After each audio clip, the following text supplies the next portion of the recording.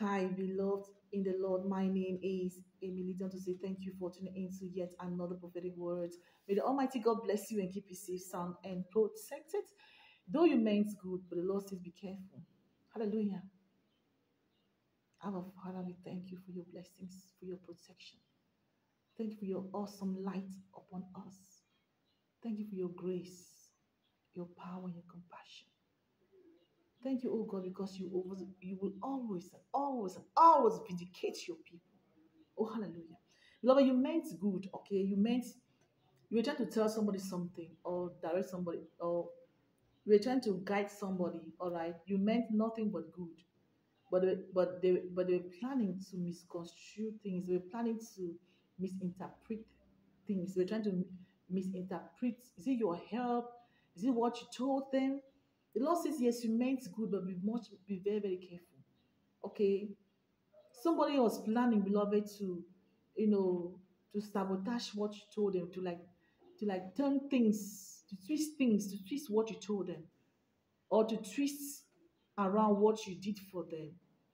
You re- render somebody good, you just say somebody something nice, but beloved, they didn't see it the way, they didn't see it rightly, and they planned, they planned, they had, they had really planned, beloved, to to spread lies, to say things, to, to, to say things contrary to the truth, okay?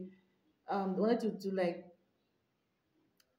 they didn't see your intentions. They didn't see your intentions. Said, be very, very careful. Yeah, even though it's good to help people, it's always good to be there for people. It's always good to, but be careful those you help because some people that you help will just turn around, beloved, to do whatever that they want to do against you, contrary to your intentions.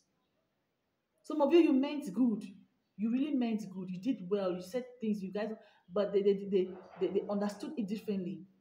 They misinterpreted what you did. They misinterpreted, misinterpreted what you said.